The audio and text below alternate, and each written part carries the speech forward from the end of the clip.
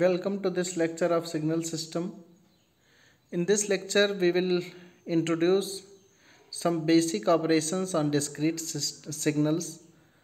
First of all we will the given question is given here plot the given signals and perform the following operations. First we will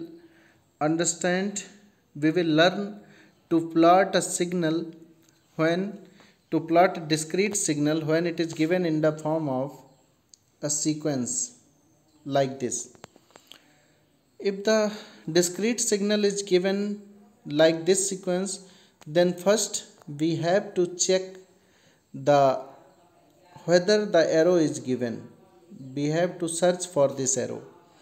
And where the arrow is given that signal will be plotted at the origin. It means that this arrow indicates the component existing components at the origin. So arrow is given below the minus 2 it means that the component which exists at the origin will have the amplitude equal to minus 2 and if this is at the origin means at the 0 then this component will exist at n is equal to 1 this will exist at n equal to 2 and it is n equal to uh, 3 this is n equal to minus 1 this is n equal to minus 2 and this is n equal to minus 3 so if we, are going to plot this signal then how it will look like? It will look like it will look like here suppose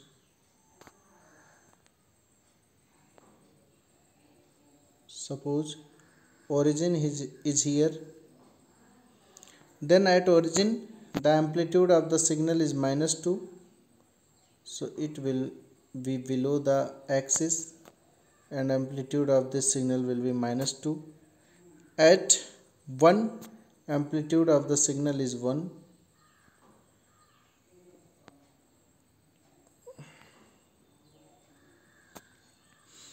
at 2 amplitude of the signal is 2 so here amplitude of the signal is 2 at 3 amplitude of the signal is minus 1 so it will be minus 1 at 3 at minus 1 amplitude of the signal is 3 so it will be the longest line in this series which amplitude will be 3 and at minus 2 amplitude of the signal is 1 at minus 2 amplitude of the signal will be 1 and at minus 3 amplitude of the signal will be 2 this is what the signal x1n will look like. And this is the signal x1n now to plot the signal x2n we will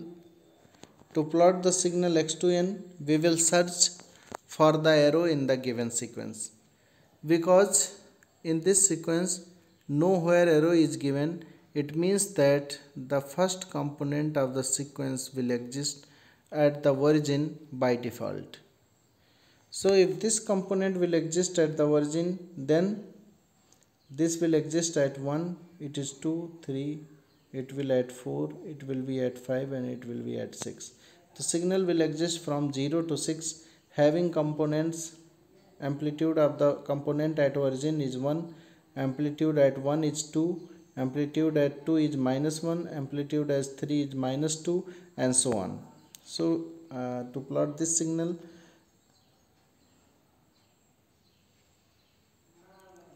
draw the x-axis means axis of n suppose here is n equal to 0 at n equal to 0 the amplitude of the signal is 1 so I will plot here 1 and at n equal to 1 amplitude is 2 at n equal to 1 amplitude is 2 this amplitude is 2 this is 1 this is 0 this is 1 at n equal to 2 this is 0 this is 1 this is 2 at n equal to 2 the amplitude is minus 1 so I will plot it below the axis minus 1 at n equal to 3 amplitude is this is 2 this is 3 at n equal to 3 amplitude is minus 2 amplitude is minus 2 at n equal to 4 amplitude is 1 at n equal to 4 amplitude is 1 at n equal to 5 amplitude is minus 2 at n equal to 5 amplitude is minus 2 and at n equal to 6 amplitude is 3 this is what x2n will look like now if we have to plot the we have to perform the following given operations on the signal. This is the way to draw a signal from the given sequence. And if we have to perform these operations on the signal then the x1n and x2n should be known to us in this case draw the x1n again. So x1n is it is at 0 it is minus 2 at 1 it is 1 at 2 it is 2 at 3 it is minus 1 at minus 1 it is 3 at minus 2 it is 1 at minus 3 it is 2 this is the signal x1n and we have to perform this operation x1n plus 3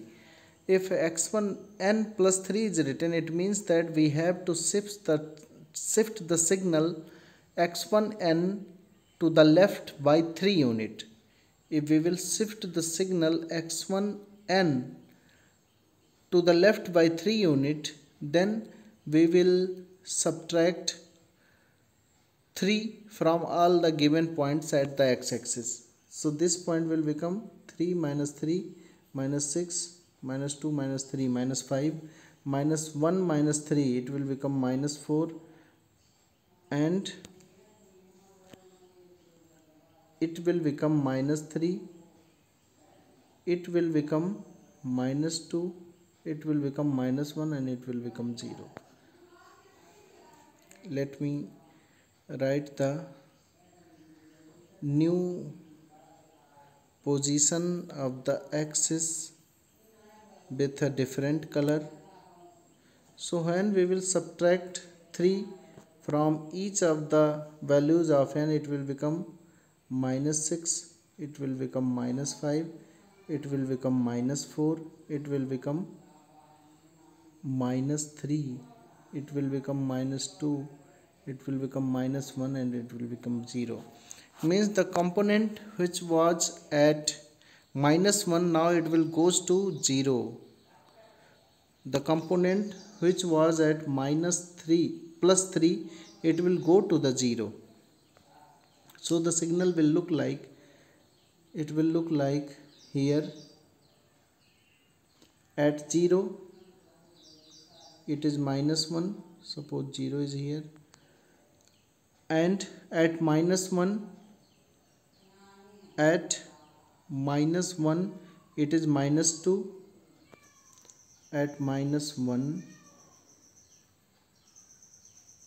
at minus 1 it is plus 2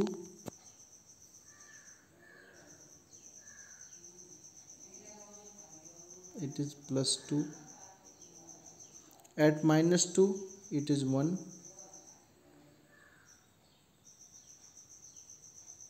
at minus 2 it is 1 at 0 no. At minus 3 it is minus 2 at minus 3 it is minus 2 at minus 4 it is 3 at minus 4 it is 3 at minus 5 it is 1 at minus 5 it is 1 and at minus 6 it is 2 so the total signal will be shifted left by 3 unit so that the component which was at plus 3 it will be present at n equal to 0 now another operation is another operation is x2 of minus n. x2 of minus n means we will plot this signal. We will take mirror image of this signal about y axis. We will plot this signal may keep the mirror image of this signal about y axis. So the signal will be folded about y axis. The all the values from right side of the y axis will go to the left side of the y axis. To perform x1 of 2n we will divide the values of n at the x axis by 2 we will divide values of the n on the x axis by 2 and the values which will which will come in the fraction they will be discarded. And only integers will be accepted on the x axis. In the same way when we will plot we will plot x of n by 2 then we will multiply all the values on x axis of n by 2 we will multiply all the values of n on the x axis by 2 and then we will plot the signal. For the addition of x1n plus x2n we will add the corresponding values which exist at the given coordinates at the given values of n as if we want to add x1n plus x2n we will write it as we will add here in the sequence x2n at n equal to 0 1 exists. In this sequence at n equal to 0 minus 2 exists so we will add we will add the corresponding values which will exist at the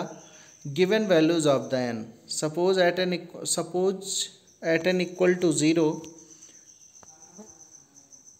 it is n equal to 0 at n equal to 0 here 1 is given. At n equal to 0 here minus 2 is given. So we will add both the uh, amplitudes and write it at n equal to 0 so minus 2 plus 1 it is minus 1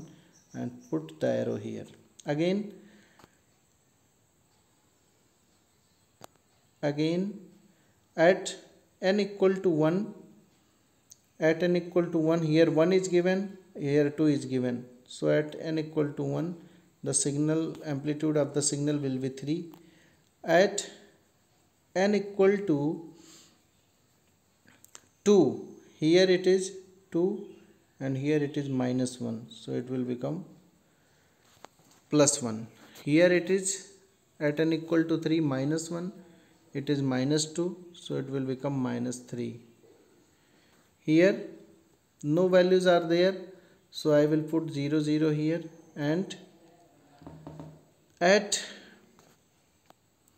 n equal to 4 here is 1 and here is 0 so it will become 1 minus 2 and let me write it again from here. At n equal to 0 here is minus 2 here is 1 so minus 2 plus 1 it will become minus 1 minus 1 at n equal to 0 again this is 2 and this is 1 so amplitude is 3 this is minus 1 this is 2 here is 1 this is minus 1 this is minus 2 it is minus 3 and here in this sequence we will add 0 0 0 to add further values. So it will be 1 plus 0 1 minus 2 plus 0 minus 2 3 plus 0 3 in the same way here it is 3 but at minus 1 nothing is here so I will write it 0 0 0 so 3 and 0 it will become 3 again 1 plus 0 it will become 1 and 2 plus 0 it will become 2 so this is how two discrete sequences can be added without plotting the signal. So this is all for this lecture. This is basic operation of folding shifting reversal and uh, addition of the two basic signals given in the sequence the dis discrete time signals. Thank you